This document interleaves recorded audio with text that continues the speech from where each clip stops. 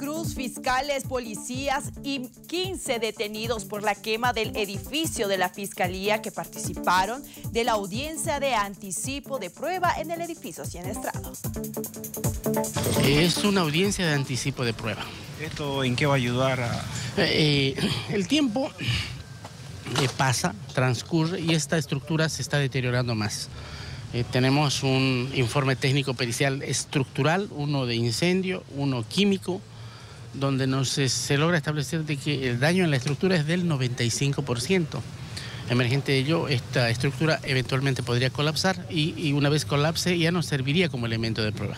Pues se ha visto prudente por parte del Ministerio Público generar este acto investigativo con la finalidad de que este ya sea introducido al juicio. ¿Quiénes están participando?